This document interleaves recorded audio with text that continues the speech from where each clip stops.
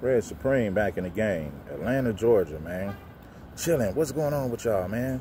On this video, man, we're going to talk about black women who are feminists and black men who are deadbeat fathers.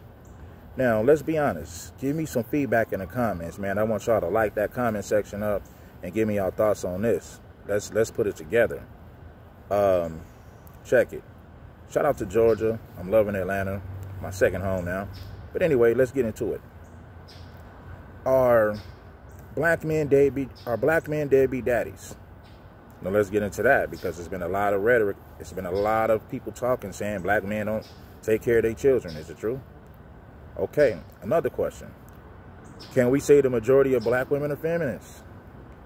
Um, we've seen black women over the years say, I'm independent, don't need a man, whatever, right? But then you have black women who don't feel that way. You know, I met some black women who want to fall in line with a man who want to get with the program. But I'm asking you guys, what percentage of American black women do you guys believe to be feminists? What percentage of black men do you believe to be deadbeat daddies? Now, get in the comments. It is what it is. I want y'all to have a party in the comments. If so, we're going to go live about this topic and I'll do a panel on it. You know what I mean? Because um, the thing about it is this. The argument across social media is, well, black women have babies by the same men. And they only want to fuck with thugs. They don't want to uh, give the honest, hard-working black man a shot. They have babies by thugs and get used up. And when they hit their 30s and 40s, they want to settle down with the good guy. So that's that's that's what a lot of men have, that's what a lot of men say about black women. Black women will say, well, black men get all these women pregnant and don't want to take care of their kids. Uh, the woman didn't become a single mother on her own. It took a black man to dump his seed in her. Boom. Cool. Give me give me your thoughts on that. We can have a conversation about this, man. What percentage of American black men are deadbeat fathers? And what percentage of American black women are feminists? Now, this is crazy. You do know that 90% of black women voted for Kamala Harris.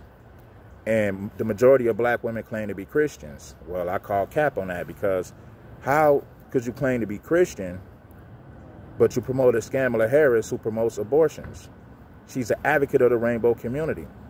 All of that goes against Christianity and the word of God. So you can't be a true Christian if you voted for Kamala Harris. Um, Christianity is against abortions. It's against the rainbow community and their policies and their agenda.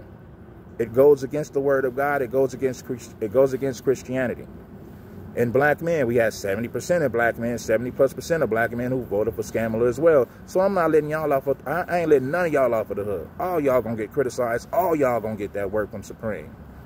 But let's have a show about it, man. Let's talk about it. Hit me up. Hit the comments up.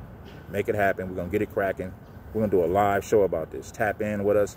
Leave a comment. I'm gone. Peace. Atlanta, Georgia. We out.